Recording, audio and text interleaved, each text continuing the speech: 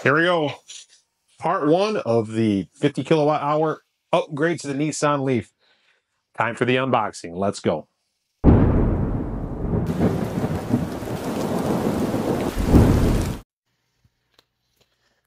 You can see here that it is packaged very good, wrapped very well.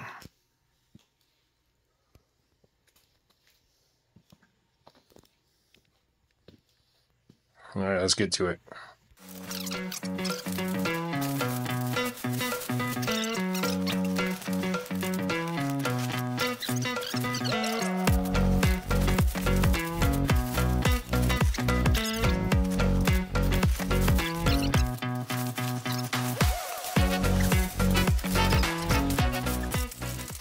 She bought this lift table off Amazon. She's a little wobbly. I'm going to use this to actually get up against the battery pack, lower it down, and then wheel it out of the car. Um, that's the thought. I may use pallet jacks. Not sure because I don't. This may have a starting height that's too high. But anyway, I got a whole series of screws to take off. I'll move the camera so we can get a better view of what I'm doing. Let's see what's in here.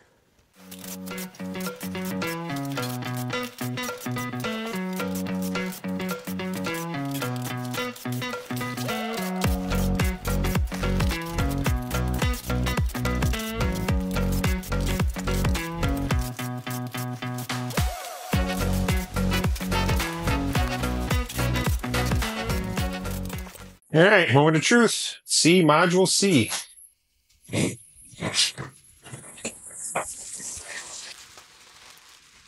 Yeah, nice and uh, wrapped in plastic really well. Okay, here it is. It's packing list. Module C. Now I'm going to be careful not to touch anything. This looks like the terminals. I'm going to want to get a voltage reading if I can off of this. This is, we got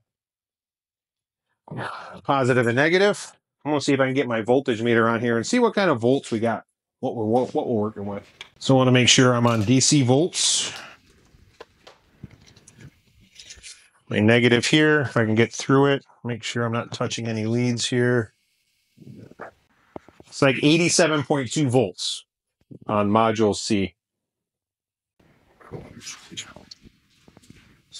right, I did my best to maintain a cover on here. Now, 87.2 volts, that's not going to kill me. I've been popped with 110 before, 120 volts.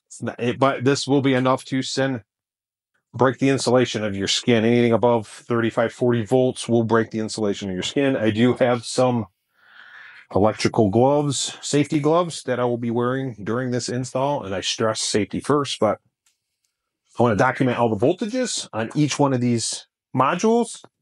Um, we do have, looks like packages of hardware. I'm not going to take anything out of this right now, but does look like they provide nuts and bolts for the installation in each module pack. So looks like everything you need for each module that you install is in the pack. So wrap this up, put the cover back on it.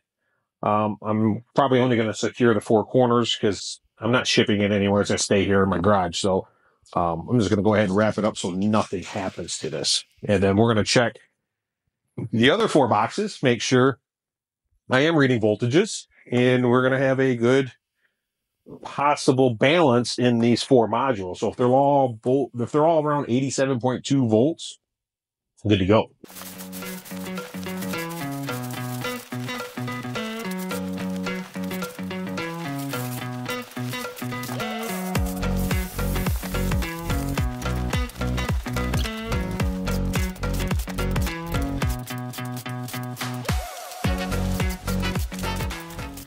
All right, negative, positive. Again, I'm going to check the voltage at 87.2 on C. Let's see what I end up on D. So I'm gonna put my negative lead here.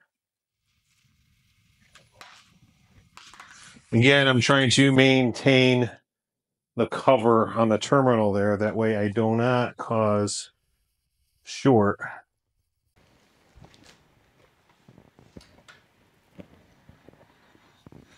It was the whole button on the stupid. I must have hit the whole button It was holding at zero. So 87.3.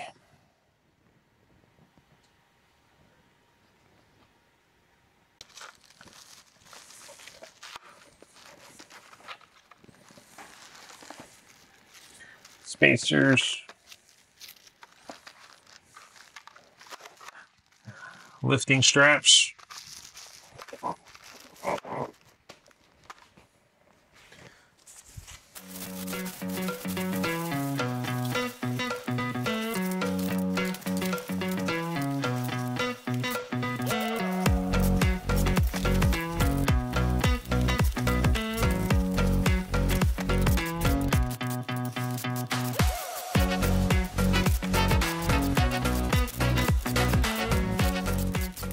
All right, this is module B.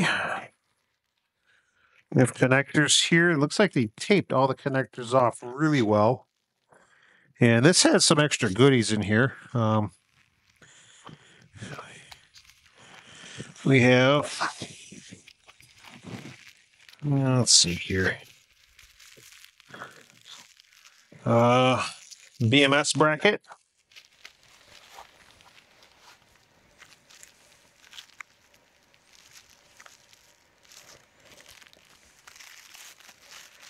Seven oh four. I don't know what this is. Oh, silicone rubber.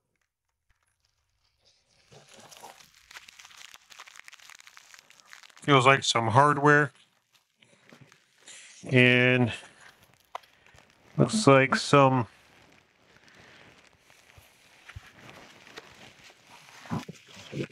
this looks like some sealant to put on the case to seal the case. So they give you they give you everything you need to do this job. No.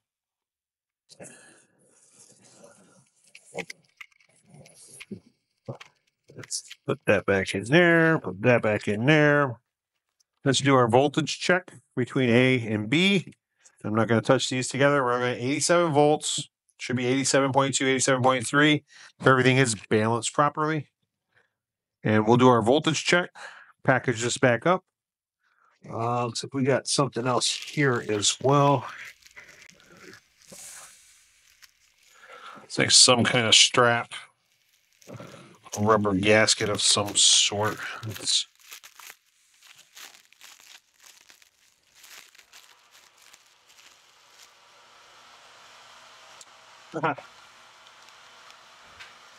Very nice. Looks like they provided some uh, heat shrink for your connectors to be able to put this on heat gun, get it all nice and protected. So that's nice that they provided some extra heat shrink.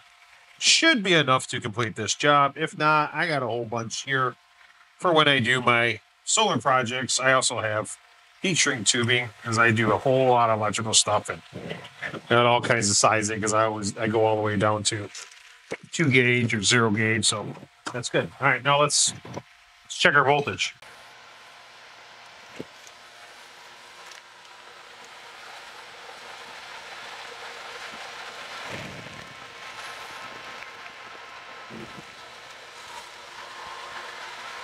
That is pretty unbelievable. 87.3. So it looks like, picture that.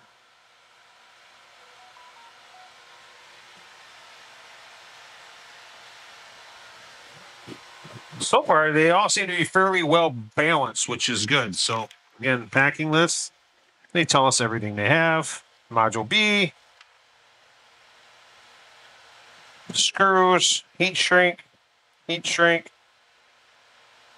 704s, and silicon sealant. So pretty excited to open the next box because that should contain the actual pre-programmed BMS. So turn that off. We'll repackage this set it aside, and open our last box.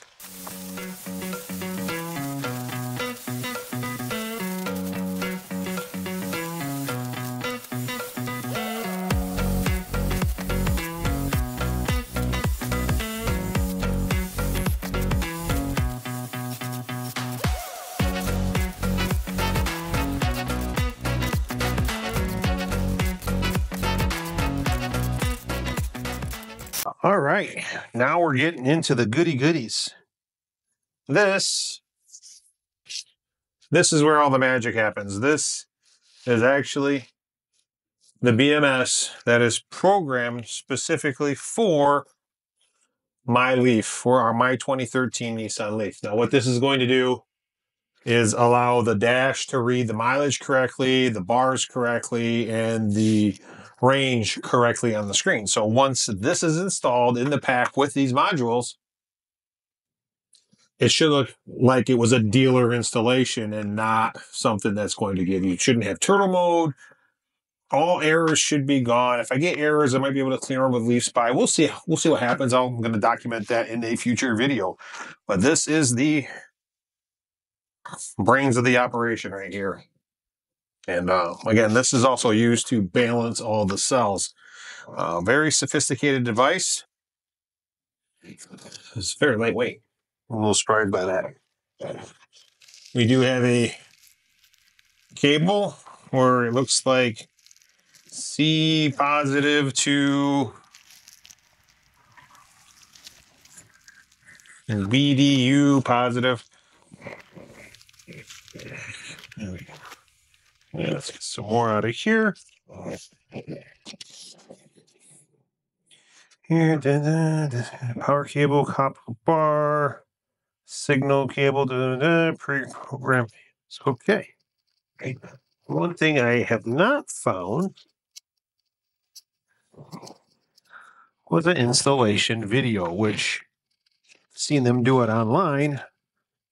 I'm not too terribly concerned about the installation. Should be pretty straightforward, but thought I was supposed to get a video, but maybe it's in a box that I missed. We'll we'll go through, and I didn't look at the first, you know, C and D. I didn't go over the packing list. My fault. So anyway, let's go ahead do our voltage check on this one. Go ahead. Stick that in there.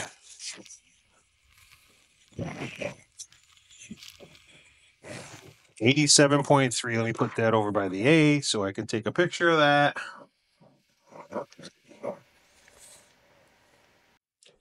Okay, so I got to say I'm thoroughly impressed. Uh, the way they package this with as much care, with the foam wrapping, the plastic inside the box, and then they wrapped every single box with shrink wrap, and then they strapped it to a pallet and then they wrapped the entire pallet. The way this was shipped, you know, we all fumigation free box.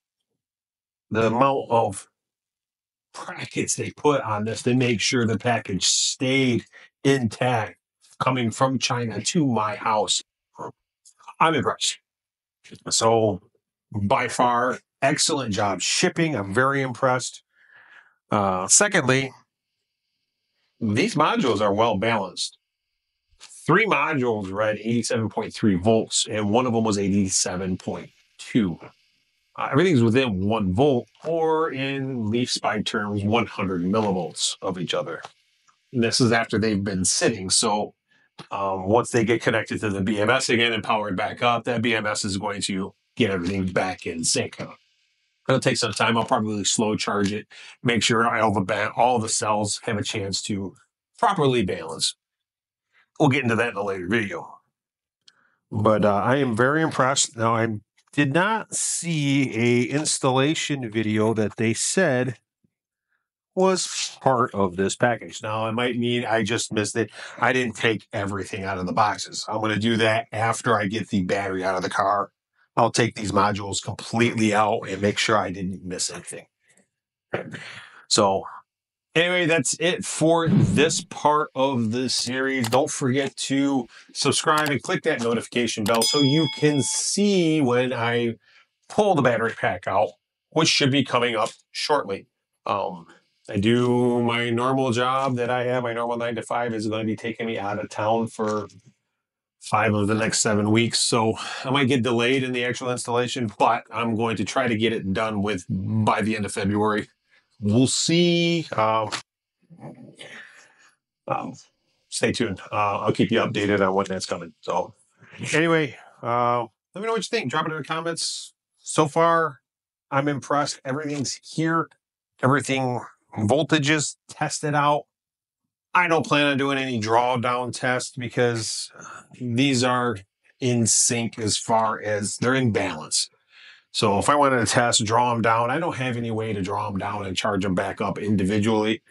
So we're not going to do that. We want to leave these in balance. Otherwise, when I connect them to the BMS, if they're a big imbalance, it's going to cause a problem. So I'm going to trust that um, everything is working properly. And once we install it in the car, I'll be able to do more tests with Leaf Spy, charging it at home and whatnot.